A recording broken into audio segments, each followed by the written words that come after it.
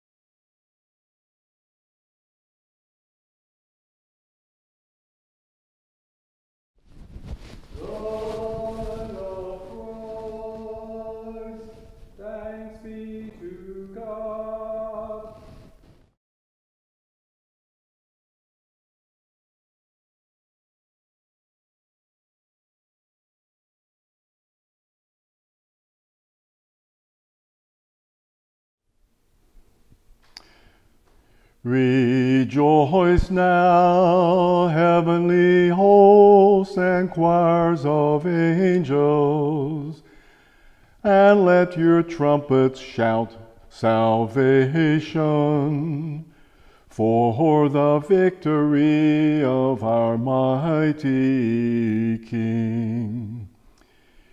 Rejoice and sing now all the round earth, bright with a glorious splendor. For darkness has been vanquished by our eternal King.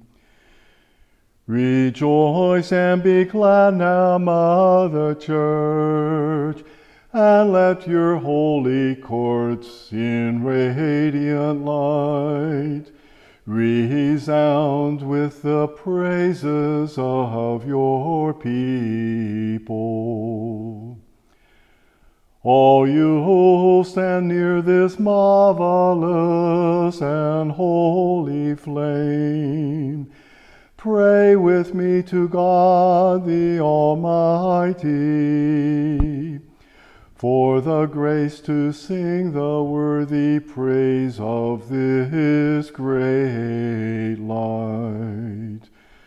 Through Jesus Christ, his Son, our Lord, who lives and reigns with him in the unity of the Holy Spirit, one God forever and ever. Amen.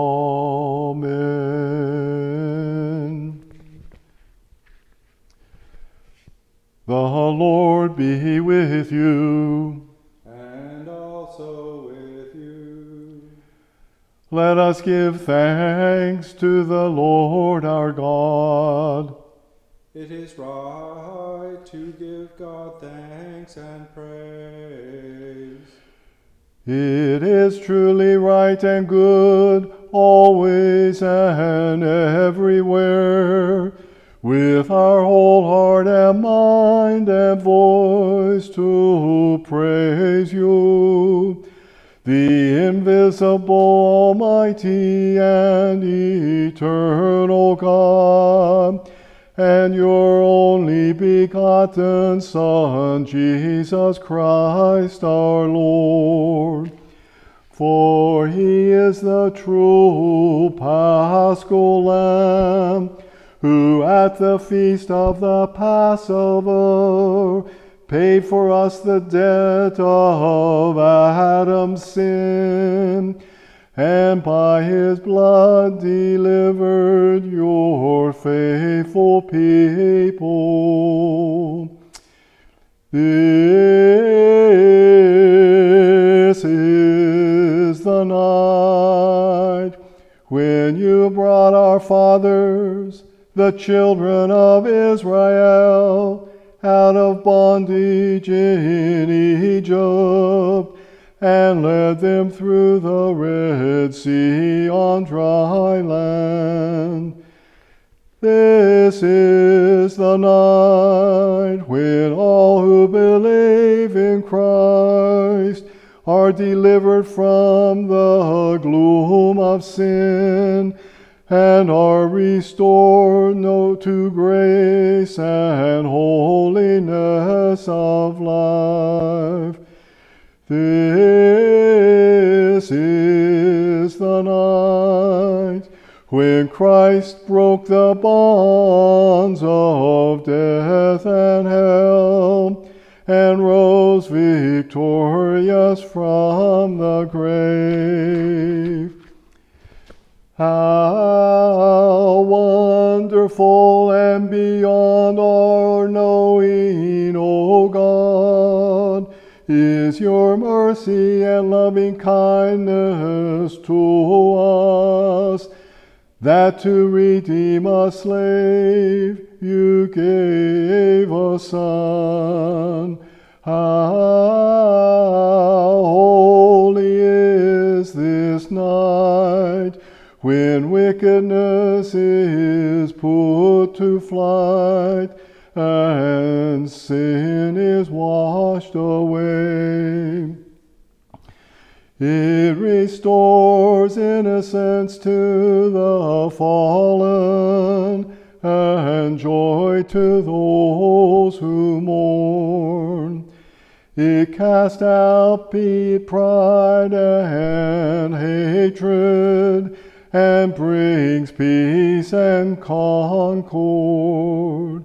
How blessed is this night when earth and heaven are joined and man is reconciled to God. Holy Father, accept our evening sacrifice, the offering of this candle in your honor. May it shine continually to drive away all darkness. May Christ, the morning star who knows no setting, and it ever burning, he who gives his light to all creation, and who lives and reigns forever and ever. Amen.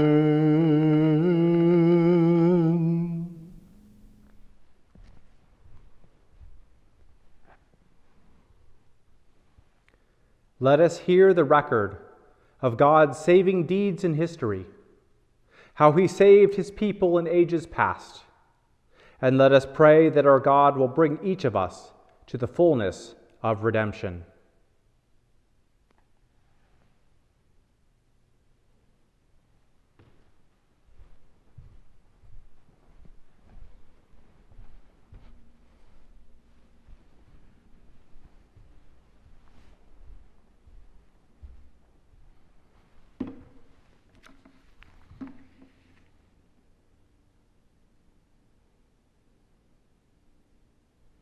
Our first reading comes from the book of Genesis, the story of creation.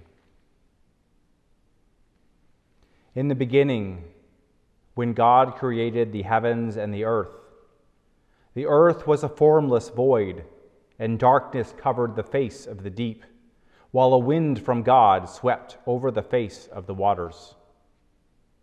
Then God said, Let there be light, and there was light. And God saw that the light was good. And God separated the light from the darkness. God called the light day, and the darkness he called night. And there was evening, and there was morning, the first day.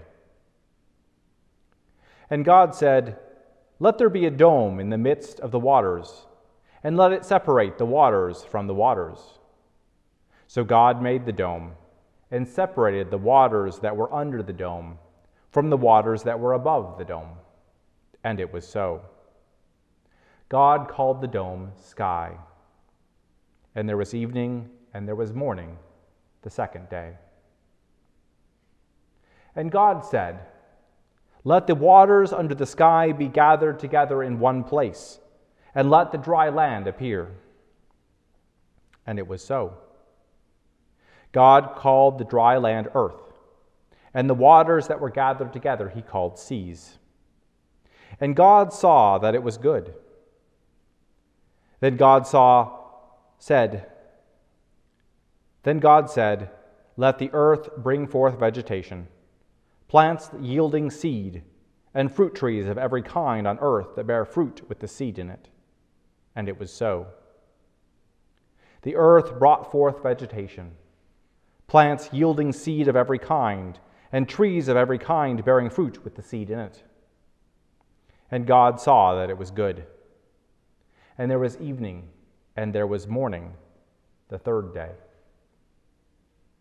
And God said, Let there be lights in the dome of the sky to separate the day from the night, and let them be for signs and for seasons and for days and years and let them be lights in the dome of the sky to give light upon the earth.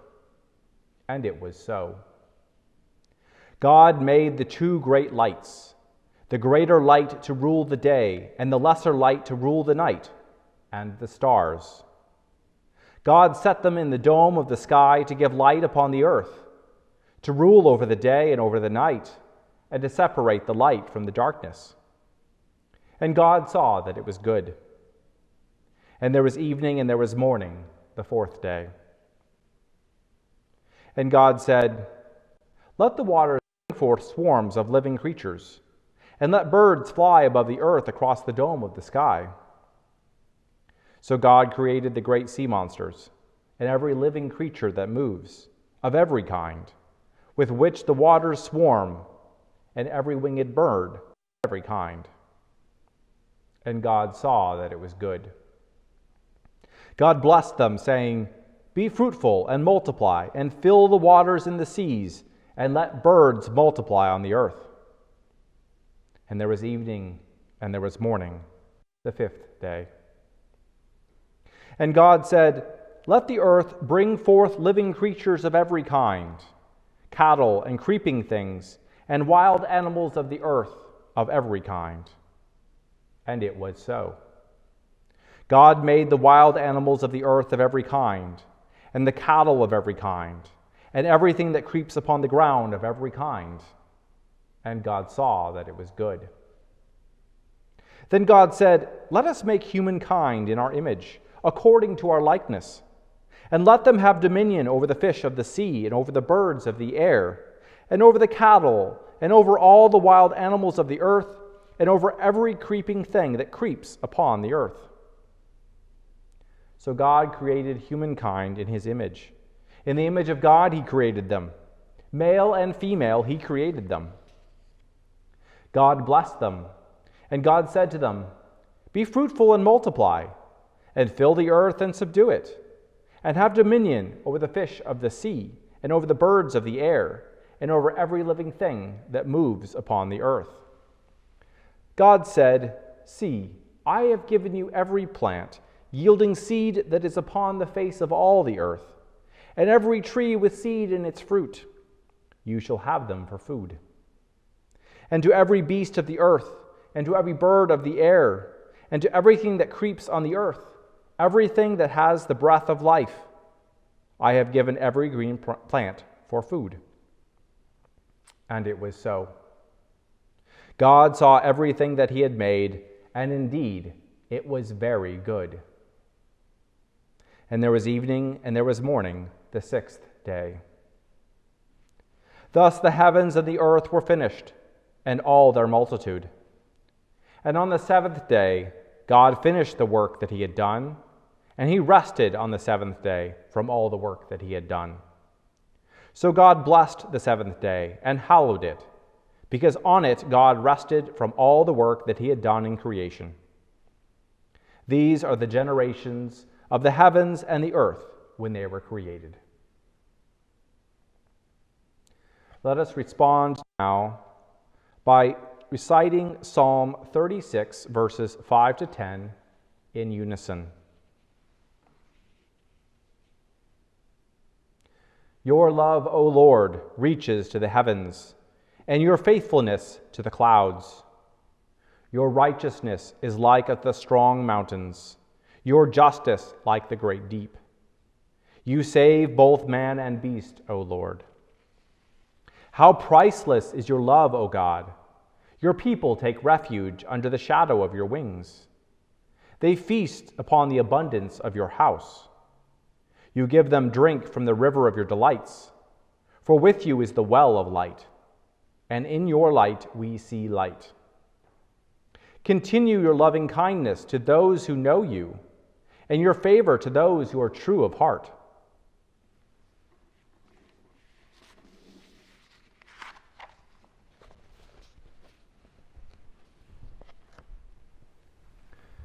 Let us pray.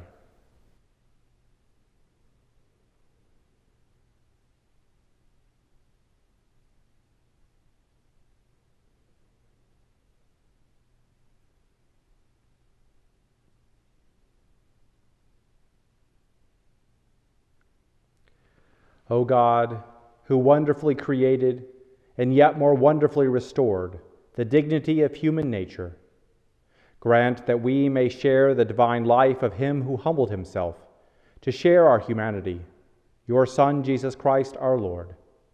Amen.